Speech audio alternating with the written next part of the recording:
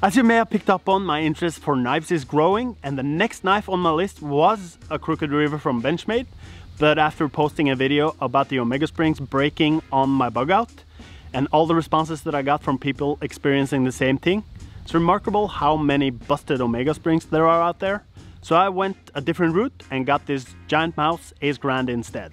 The Ace Grand is 20 centimeters long or 7.875 inches blade length is 81 millimeters, handle is 114, and the scales are green micarta. It's a liner lock, titanium backspacer, deep carry pocket clip, it has a stone-washed Elmax blade, and the whole thing weighs 135 grams. I'm new to Giant Mouse, and as I understand they have two lines of knives, one that's called Ace, which contains about seven different knives, including this one, and a GM line, which they only produce three or 400 pieces of, and then never make that same knife again. So I guess to get one of those, you need to uh, set your alarm for whenever a new design is dropped uh, and hope you get lucky. And if you don't, there is a Facebook group uh, for Giant Mouse fans that will definitely show you what you missed. They call themselves Shank Sharpeners Union. Uh, I just joined and uh, I don't know if it's knife people in general or if it's Giant Mouse fans in particular, but those guys really know how to build a community and it's pretty rare to be a part of something where everybody root for uh, each other and is happy to be a part of the same thing and share their interest for a great thing together, all in a positive tone. So for the good people over at Shank Sharpeners Union, well done.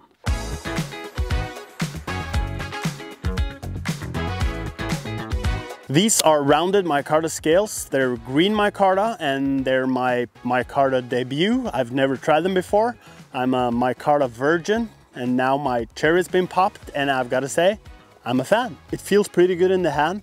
Uh, they're a bit darker than when I first got them a couple of weeks ago and if I had known that they would darken this much I probably would go with the natural Micarta scales instead even though they looked a little bit too light uh, colored uh, on the photos but thinking about it now that would probably be a better match for me.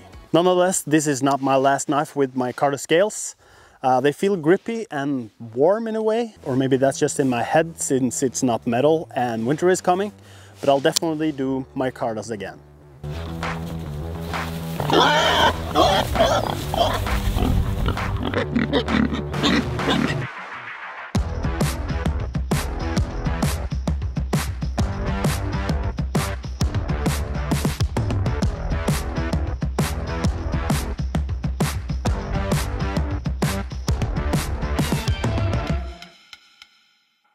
Here's the size comparison with the Spyderco Shaman.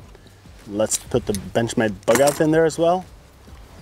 For EDC, some people think that this knife is a little too big. Um, I'll use it as a fidgeting work knife and I have rather large hands, so I think this size is uh, pretty great. For quite some time I've used the Spyderco Shaman for work around the farm and the Ace Grand is about one centimeter shy of the Shaman. The most noticeable difference between the two though is the locking mechanism. This is a liner lock and this is a compression lock.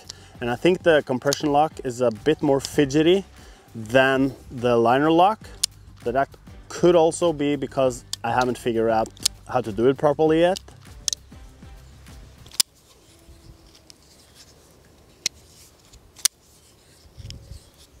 The Ace Grand comes with a deep carry pocket clip, which I prefer. Um, it makes it a bit more anonymous when going to the grocery store. And if they were dark as well, no one would notice because I usually wear dark pants.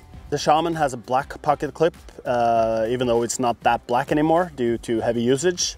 And it's not deep carry, so it will draw some attention. I don't know why they don't put deep carry pocket clips on all knives. This just makes it look like someone's waiting for someone to type something on Snapchat.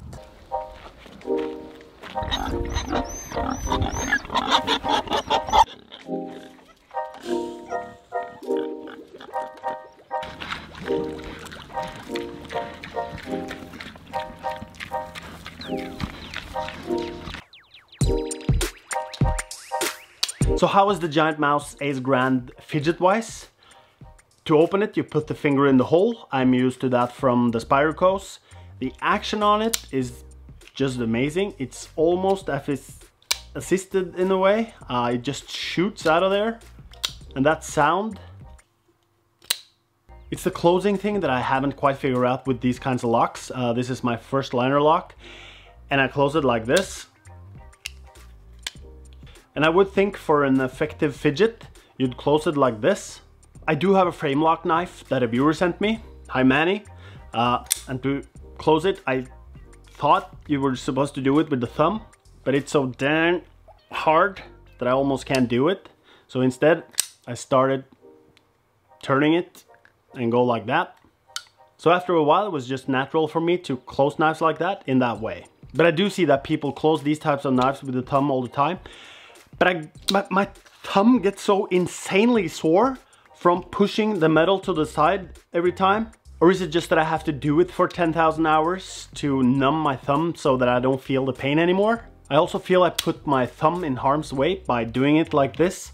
Uh, it's more prone to slip and cut my thumb than when I do it like this. Or is it meant to be a two-handed action? Releasing a little pressure with the other hand before using the thumb for more control and less wear and tear on the thumb.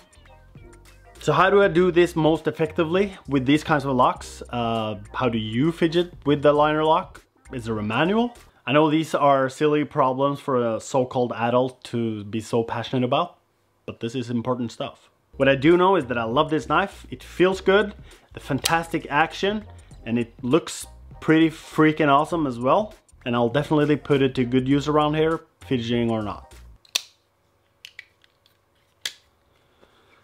With that said, uh, I haven't totally given up on the Bugout yet.